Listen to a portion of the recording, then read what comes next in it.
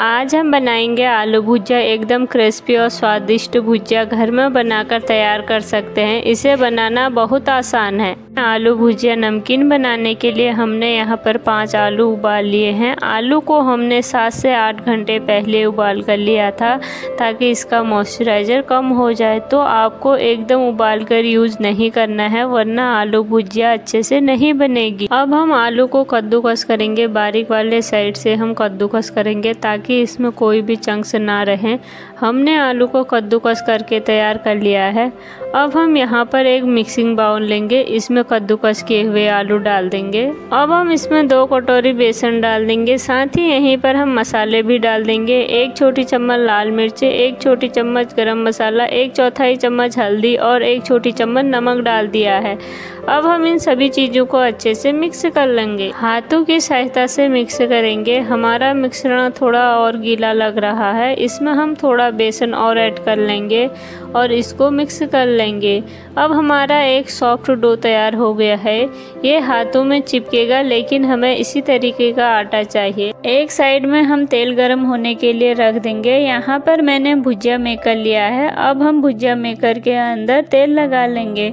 हम पतले छेद वाली जाली का यूज़ करेंगे। साथ ही जाली में भी हम तेल लगा लेंगे। अब इस जाली को इसमें फिट कर लेंगे। अब इसमें भी तेल लगा लेंगे। अब इस मिश्रण को हम तेल लगा लेंगे और एक लोई के बराबर लेंगे और इसमें मेकर के अंदर डाल देंगे। भुजिया मेकर को हम बंद कर देंगे। तेल गरम हो गया है। तेल को हमें ज़्यादा गरम नहीं करना है। अब हम गैस की फ्लेम को लो कर देंगे और अब इसमें हम भुजिया डालेंगे।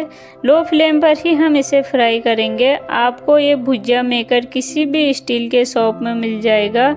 ये देखिए भुजिया डालने के बाद इसमें कितना झाग आ रहा है। तो इसमें एकदम इस वक्त करछी नहीं लगानी है। झाग थोड़ा कम हो जाएगा, तब हम इसमें करछी लगाएँगे। हम दोनों साइड हल्का गोल्डन होने तक फ्राई करेंगे।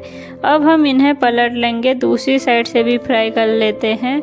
तो ये देखिए, हमारा एक वेज भुजिया तैयार हो गया है। हम लो, मीडियम पर ही इन्हें फ्राई करना है। इसी तरह हम दूसरा वेज भी डालेंगे। गैस की आँच लो टू मीडियम के बीच में रखेंगे। हम पलट कर दूसरी साइड से भी फ्राई कर लेंगे। हल्का गोल्डन ब्राउन होने तक फ्राई कर लेंगे। ये लीजिए, हमारा दूसरा वेज भुजिया भी तैयार हो गया है। इसी तरह हम सारे भुजिया तैयार कर लेंगे। हमने सारी भुजिया तैयार कर ली है। अब हम इन्हें छोटे छोटे टुकड़ों में तोड़ लेंगे। ये आसानी से टूट जाते हैं, बहुत ही क्रिस्पी बनते हैं। हमने घर पर ही बहुत ही बढ़िया आलू भुजिया बनाकर तैयार कर ली है। तो दोस्तों, रेसिपी ज़रूर ट्राई कीजिएगा। यदि आपको रेसिपी अच्छी लगे तो प्लीज़ वीडियो को लाइक, शेयर कर दीजिएगा। चैनल को सब्सक्राइब कर दीजिएगा। साथ ही बेल आइकन को प्रेस कर दीजिएगा ताकि हमारी आने वाली वीडियो का नोटिफिकेशन आपको मिल सके।